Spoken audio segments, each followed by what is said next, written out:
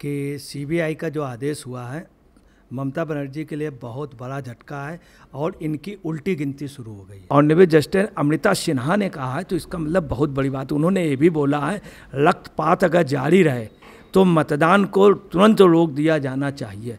इसका मतलब बहुत सख्त है, ये वास्तव में आपको बताना है कि ममता बनर्जी में अगर थोड़ी सी भी गैरत है तो इनको तुरंत इस्तीफा दे देना चाहिए। और उन्होंने ये भी कहा है कि एक पंचायत चुनाव पे हिंसा का राज ये शर्म की बात है।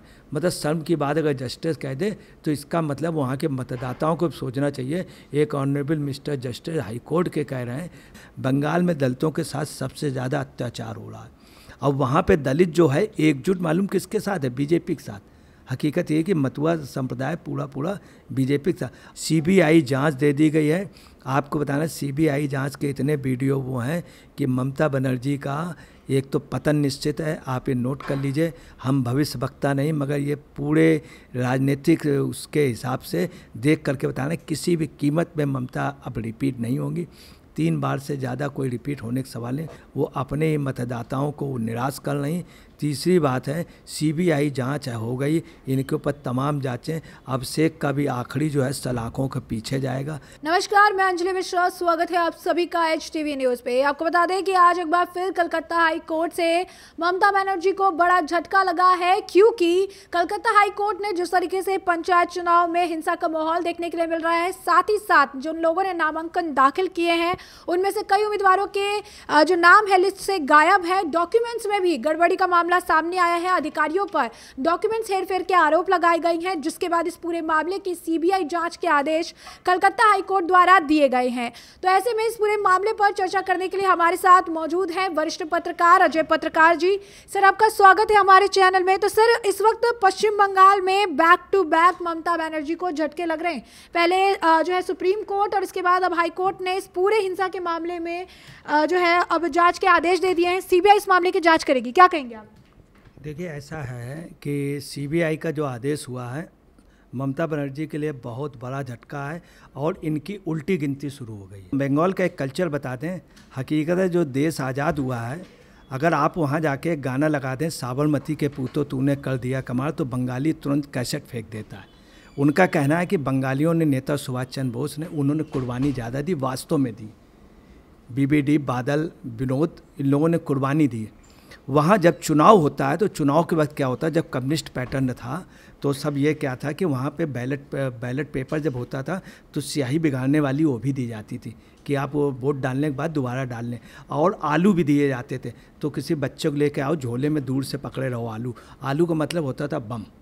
वहाँ के बच्चा बच्चा बम बनाए। हिंदुस्तान के कल्चर में पहले बम नहीं चलते थे चाकू छुड़ियाँ चलती थी। यहाँ सब जगह बम वहीं से आया। तो आपको बताना है, वहाँ पे इलेक्शन में ये सब चीज़ें बहुत थी। ममता बनर्जी ने क्या किया, इसको टोटल इस ग्रुप को अपने उस पर कर लिया। अब वो इतना ज़्यादा बढ़ गया है कि आप नहीं देख रहे होंगे, वहाँ जब पुलिस वुलिस कुछ कर रही है तो जो आवाज़ हो रही, वो उधर से बम फेंक रहे हैं। तो पुलिस जो है, डायरेक्ट गोली नहीं चलाती। अच्छा कभी भी आपको तो पैरामिलिट्री ऑर्गेनाइजेशन, कभी भी नहीं, इवन मिलिट्री भी कभी डायरेक्ट गोली किसी भी सूरत पे नहीं चलाती। या तो नीचे मारती हो, मगर जब वो देख रहे हैं कि छोटे छोटे बम चल रहे हैं, इसके पहले भी एक लिमिट क्रॉस हो गई थी, इतनी ज़्यादा हिंसा हो रही थी, इतनी ज़्यादा हिंसा हो रही थी। पंचायत चुनाव पे जो बहुत छोटे स्तर का चुनाव, लोकसभा में क्या पोजीशन इसके पहले भी हुआ था, लोकसभा में उन्होंने कम चलाई मगर इस समय जो थे, पंचायत चुनाव में एक रिहर्सल हो रहा था। दूसरी बात उधर क्या था कि टीएमसी के कार्यकर्ताओं का था कि अगर इस रिहर्सल में हमने इन लोगों को डरा, धमका लिया, इनके बोर्ड नहीं पढ़ने दिए, हकीकत यह कि नामांकन उन्होंने कई लोगों का होने नहीं दिया। दूसरी पार्टी, सबसे ज़्यादा नामांकन तृणमूल कांग्रेस ने किया, उसके बाद बीजेपी ने किया। मगर बीजेपी के नामांकन कराने वाले कई कार्यकर्ता मिल नहीं रहे, गायब हो गए। कुछ कार्यकर्ताओं को मारा, कुछ प्रत्याशियों को इन्होंने अपहरण कर लिया। तो ये लगातार इनके ऊपर हो रहा था। तो इन्होंने ये कहा कि जो पैरामिलिट्री ऑर्गेनाइजेशन लगा हुआ है, ये न लगे, जो सशस्त्र बल है, उसके लिए हाई कोर्ट ने आदेश कर दिया। कोर्ट ने ये आदेश किया कि नहीं लगेगा। तो ये पका गए क्योंकि अपने फोर्स से और अपने गुंडों, इनके साथ क्या है, उनकी लोकल पुलिस के साथ में गुंडे भी ड्रेस पहने कर खड़े हुए। अब वो सब ऑपरेट करते हैं। वहाँ के जो पाड़ा के वो हैं और फाड़ी के तो फाड़ी वास्तव में वहाँ जो चलाते हैं, वो ये। और दूसरी वहाँ पे क्या है, सकल बेला और बिकल बेला पे दोनों वक्त वहाँ पे मीटिंगें होती हैं, जो तृणमूल कांग्रेस करती है, फाड़ी में बैठ करके करती है। फाड़ी का मतलब उसको बोलते हैं पुलिस स्टेशन। तो वहाँ बैठ के करती है। तो ये सब देख रहे थे और यहाँ पे अब आप ये समझ लीजिए, कोर्ट ने कह दिया ऑनरेबल जस्टिस अमृता सिन्हा ने कहा है तो इसका मतलब बहुत बड़ी बात, उन्होंने ये भी बोला है, रक्तपात अगर जारी रहे तो मतदान को तुरंत रोक दिया जाना चाहिए। इसका मतलब बहुत सख्त है। ये वास्तव में आपको बताना है कि ममता बनर्जी में अगर थोड़ी सी भी गैरत है तो इनको तुरंत इस्तीफा दे देना चाहिए। यही ममता बनर्जी उस पर आरोप लगाती थी वामपंथियों पे। और आज ममता बनर्जी ने ये काम थोक पे कर लिया। पहले तो बहुत छोटे लेवल पर था, आज तो बड़ी बड़ी फैक्ट्रियाँ टाइप की बन गई वहाँ पे। और उनके यहाँ से यही वजह है कि खुलेआम मीटिंग वो ले रहे हैं। एसीपी की जो मीटिंग है, वो तृणमूल कांग्रेस का छोटा सा कार्यकर्ता ले रहा। और उन्होंने ये भी कहा है कि एक पंचायत चुनाव पे हिंसा का राज ये शर्म की बात है। मतलब शर्म की बात अगर जस्टिस कह दे तो इसका मतलब वहाँ के मतदाताओं को सोचना चाहिए। एक ऑनरेबल मिस्टर जस्टिस हाईकोर्ट के कह रहे हैं तो दूसरी बात, उन्होंने तारीख भी इनको दे दी है, दूसरी तारीख के लिए।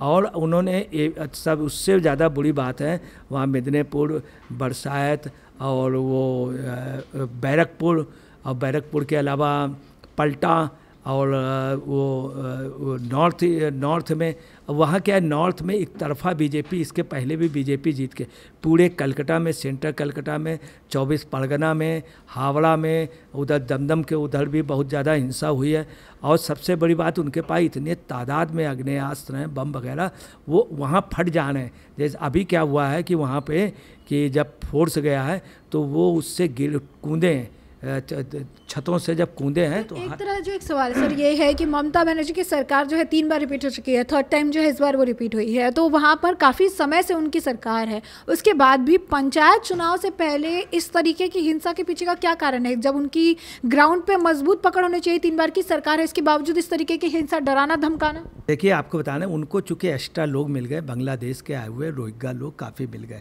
अभी क्या हुआ है फोर्स ने आज रात को वहाँ काफ़ी लोगों को घेरा। उसमें रोहिंग्या थे। उन्होंने बिल्कुल रेड हैंडेड कर लिया, मगर ये लोग छुड़ा ले गए। अब इन लोगों ने अंधाधुंध बम चलाए। तो आप उसमें देख लीजिए कि इन्होंने सिर्फ़ टीयर गैस छोड़ी है। वो इतने अलर्ट हैं, इस मामले में वहाँ के लोग अलर्ट ज़्यादा हैं। तो बम हम इन लोगों ने चलाए, इतने भयंकर चलाए, पुलिस को इस बात का तरस आ गया कि अगर हम स्टेट फायर करेंगे तो लोग मर जाएँगे। मगर पुलिस ने अभी तक जो वहाँ का सशस्त्र बल है, उसने अभी तक डायरेक्ट गोली नहीं चलाई है। डायरेक्ट गोली इसके पहले भी नहीं चलाई थी, मगर उनके ऊपर पथराव किया जा रहा है, उसके, उनके ऊपर बम फेंका जा रहा है। इसके अलावा जो सबसे दुखद हो रहा है कि उनका जो भाई है बनर्जी, वो चुन चुन करके मथुआ समाज के लोगों को मार रहा अभी कुछ दिन पर गया मत मथुआ समाज के मंदिरों में और दलितों पे इतना ज़्यादा अटैक हो रहा है कि पूछो, बंगाल में दलितों के साथ सबसे ज़्यादा अत्याचार हो रहा है। और वहाँ पे दलित जो है, एकजुट मालूम किसके साथ है? बीजेपी के साथ। हकीकत ये कि मतुआ संप्रदाय पूरा पूरा बीजेपी था और ये अभिषेक के इशारे पे चुन चुन के पुलिस दल, दलितों को इलेक्शन में सब कर ले। इसीलिए दलित जो हैं, वो नामांकन नहीं कर पाए, खासतौर मतुआ समाज के। और मैं आपको बता रहा हूँ, कायदे से होना क्या चाहिए? नामांकन फिर से होना चाहिए। सीबीआई जाँच दे दी गई है।